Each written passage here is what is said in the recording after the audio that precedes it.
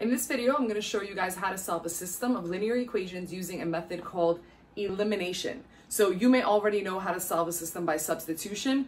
Great. One method is not always better than the other. It depends on the problem that you're given. So the example that I'm gonna walk through with you right here is a perfect example of exactly when you should be using elimination instead of substitution, and I'll show you why.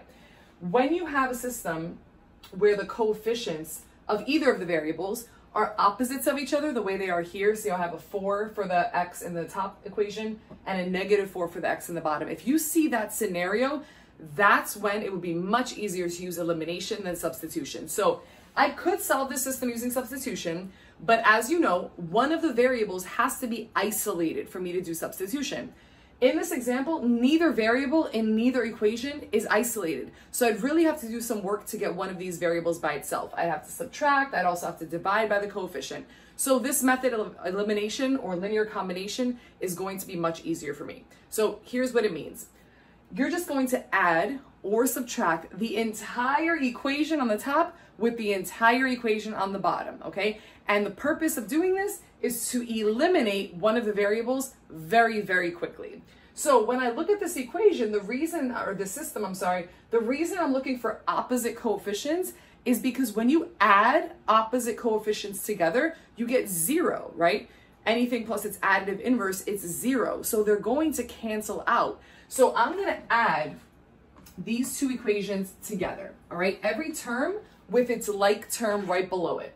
And one thing that's important before you start is make sure that your equations are lined up in the same exact way. So you see how my equations are x, y, equal sign, constant. It doesn't have to be that order, but it has to be the same order on the top as it is the bottom to make it easier for you to add correctly, all right? So we see opposite coefficients. We're gonna add these together. Why? Because when I add 4x and negative 4x, I get 0x, but 0 times any number is just 0. So these two guys cancel out and I have eliminated one of my variables already that quickly. We're gonna continue. 8y plus 2y is 10y equals 20 plus negative 30 is negative 10. Now I have a one-step equation. I'm trying to get y by itself. Y is being multiplied by 10, so I'm gonna do the inverse operation, which is to divide by 10 on both sides. On my left side, my 10s cancel out because 10 divided by 10 is 1. 1 times y is just y. And on my right side, negative 10 divided by 10 is negative 1. And just like that, I already have the y value for my solution for this system. So now what I've done is I've rewritten one of my equations from my system. So you can see the original system on the yellow paper over there. You can choose whichever equation you want for this part of the, the solving. I chose the top one because why not avoid that negative, right? I feel like when there's negatives and fractions, we are more prone to make mistakes. So let's choose that prettier equation up top, but you could have done either one.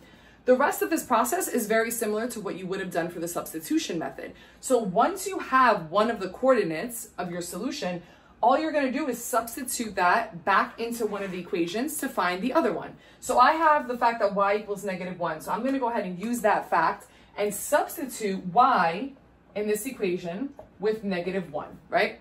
Because I found out that's what it's equal to. Everything else in this equation is going to come down is exactly as is. And I'm going to solve for x now. So if I evaluate this part right here, 8 times negative 1 is negative 8. So I have 4x minus 8 equals 20. I've got a two-step equation. I like to get rid of addition or subtraction first. So I'm going to do the inverse operation of minus 8, which is plus 8 on both sides. That leaves me with 4x. These cancel out because they equal 0. Equals 20 plus 8 is 28. Now I have a one-step equation. 4x equals 28. I want to get rid of that 4, which is being multiplied by x. So I do the inverse, which is to divide by 4. And when you divide by 4 on both sides, you're going to get x equals 7. Now you've got your x value, you've got your y value, and you have your solution of the system, which means that if these two lines were to be drawn, they would intersect at the point 7, negative 1. Okay. I am leaving you guys with your practice problem. As usual, the answer will be in the description of the video. Check your work, see if you got it right. If you did, awesome job. And if you didn't, as always, feel free to ask for help. Um, there will be another video that shows you how to solve systems where you don't have this nice scenario of opposite coefficients. So if you'd like to see that, watch the next two videos.